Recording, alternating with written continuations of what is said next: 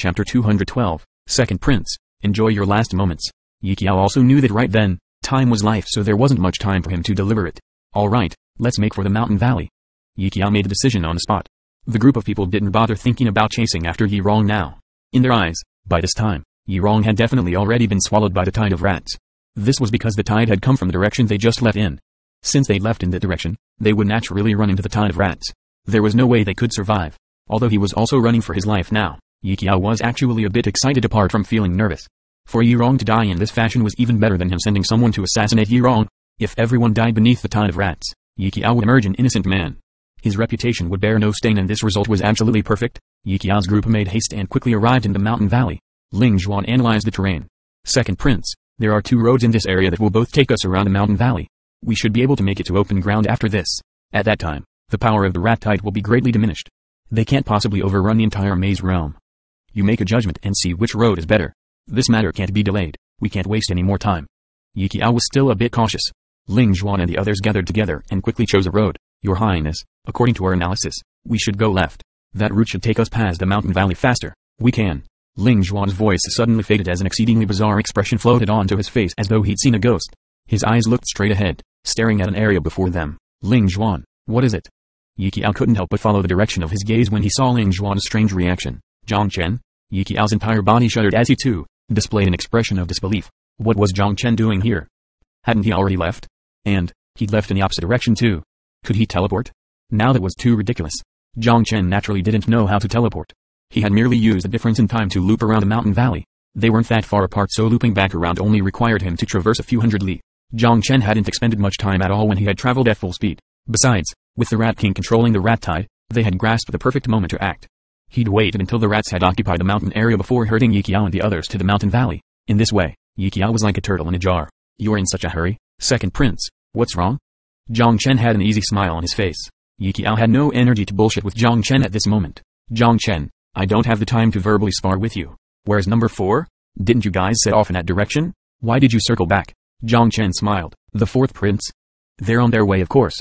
I had some matters to take care of so I came back. I'll immediately go and meet up with them after I take care of things. On their way? Meet up? Yi Qiao smiled. Jiang Chen, does this mean that you were really the only one to come back here? Yi Qiao had been a bit worried when he first saw Jiang Chen, worried that number 4 had also come back instead of being swallowed by the rat tide. His heart settled down again when Jiang Chen said that he was the only one who had returned. Just me, second prince. You've yet to answer my question. What are you doing here? Yi Qiao displayed a meaningful smile. Nothing much. We heard that there was a spirit creature here and wanted to try our luck. Jiang Chen, go conduct your business and reconvene with number 4 when you're done. I'm going to hunt the spirit creature and won't chat any longer. We'll go our separate ways now. Yi Qiao was feeling quite gleeful inside. Jiang Chen, do you think you're hot shit? If you've got the guts, stay here and don't leave. And you still want to meet up with Yi Rong? Yi Rong and the others are likely shards of bone by now. He naturally wouldn't be so kind as to remind Jiang Chen about the tide of rats behind them. Jiang Chen chuckled. Hunting a spirit creature?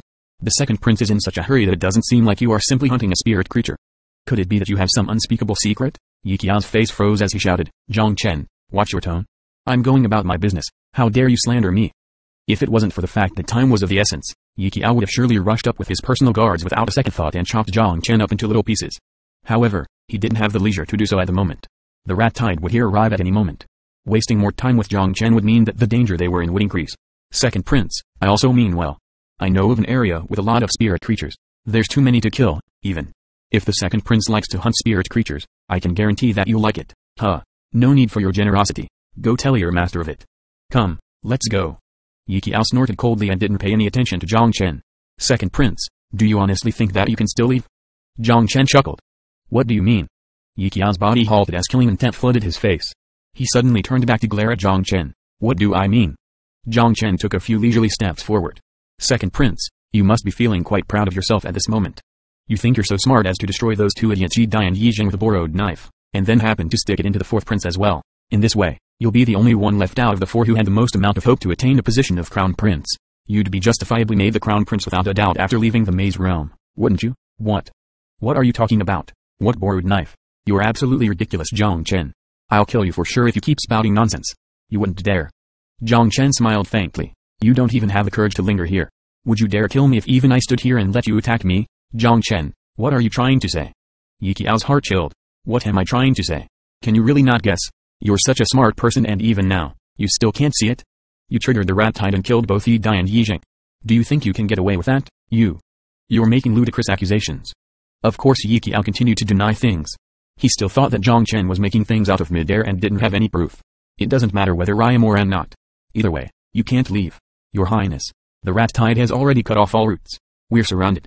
Ling Zhuan suddenly realized that the two directions leading away from the mountain valley had already been thoroughly blocked. They were truly turtles in a jar now. What? Yi Qiao's expression changed greatly. Jiang Chen, you were purposefully playing for time, weren't you? Yi Qiao's eyes were vicious as he grit his teeth. You guessed correctly. Jiang Chen chuckled and didn't deny it. Crazy lunatic. Yi Qiao cursed loudly. Do you think that you can get away even if you delay us? Do you think your master can escape? Jiang Chen smiled faintly. Me delaying you has nothing to do with Yi Rong. Then what was it for? Yi Qiao was infuriated. The reason's simple. You guys made a move on me first so I'm just here to collect on debts. Remember, although I may be easy to talk to, you'll die for pissing me off. Jiang Chen's tone turned cold. Don't play innocent with me. Your two men did their job quite nicely, but they should at least clean the traces of blood off themselves. Not wiping their asses after taking a dump. What's the deal with that, eh? Yi Qiao's face was ugly now. This means that you purposefully came here to hold us up? You're right. Jiang Chen laughed softly. Ha ha ha, crazy. You're completely crazy. You succeeded in delaying us but now what? We're all going to die together. Madman. A madman. Yi Qiao shook in his anger. You think too much. I said that I was here to collect on debts. I'll leave as soon as I'm finished. Leave. Dream on. That way there has long since been blocked off by the rat tide. Both ways out have been surrounded by now. You want to leave? Not unless you stick wings on your back, I know. Then what are you smirking about if you know? Yi Qiao's eyes revealed his internal struggle. Because I'm the one who triggered the rat tide this time. The fact that we could emerge unscathed from last time's rat tide means I can do the same this time. Jiang Chen laughed heartily as his body flashed before he landed on top of a tall and large tree. Yi Qiao, enjoy your last moments. I'll stand here and admire the view of your death struggles. Wham, wham, wham. The rat tide converged on them from all directions like a tidal wave. The golden-colored seas once again swept across the land. All the members of Yi Qiao's group were all flabbergasted and petrified. As they looked at the rat tide swarming from all directions, despair grew in their hearts. A flash of brilliance suddenly hit Ling Zhuan as he called out, Everyone, go bring down Jiang Chen. This brat isn't afraid of the rat tide and so he must have a plan. We'll have a shot for survival if we take him with us. This suggestion helped Yi Qiao come to his senses. He'd been on the brink of despair when a light of hope shot out from his eyes. He too called out, Right, everyone work together and capture Jiang Chen. Ling Zhuan's level of training was the highest as he grasped the air with one hand and his long sword with the other. He flew towards Jiang Chen with a desperate motion. Ling Shi and Ling Zhuan also knew that this was a battle of life and death. How would they retain any of their strength? They also split up left and right in a pincer movement as they shot towards Jiang Chen. Hurry, hurry. The rat tide is arriving soon. Yi Qiao screamed out with all his might. Everyone go. What are you guys doing standing there in a daze? Go. Out in front. Ling Zhuan only had one notion at that moment, and that was to capture Jiang Chen and force out a method to avoid the rat tide. Otherwise, only death awaited them. He was very well aware that the rat tide wasn't something that human strength could withstand. There was only a strand of hope if they wanted to avoid the rats. The aura of his sword was like a dragon. The stroke arrived in front of Jiang Chen in the span of a second. Suddenly, the unexpected happened. Just as his body was about to draw near Jiang Chen, a surge of strength broke through from the earth and shot towards the heavens, bringing with it a wave of mud like an erupting volcano.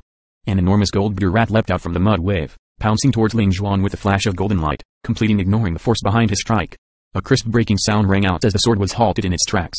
The gold bitter rat had merely clenched its paw and shattered into shards. In the next moment, the gold bitter rat's other paw had landed on Ling Zhuan's chest. Its sharply fanged mouth opened as it chomped down on Ling Zhuan's neck. Ling Zhuan's neck was immediately bitten through. Chomp, chomp. That gold bitter rat actually grasped Ling Zhuan's body and started gnawing away at it. It had finished eating Ling Zhuan within a few breaths. Ling Zhuan, a solid first-level spirit realm, a practitioner who'd been about to set foot into the second level, was like a child who just learned how to walk in front of this gold bitter rat. He had been completely defenseless. The imposing sword strike had been easily diffused with a light grab. If Ling Shi and Ling Feng on the two sides hadn't reacted quickly and if the gold bitter rat hadn't been more interested in Ling Zhuan, they likely wouldn't have escaped this disaster either. After all, this gold bitter rat was simply too strong and its speed too fast. These so-called spirit realm practitioners were a complete joke compared to the gold rats.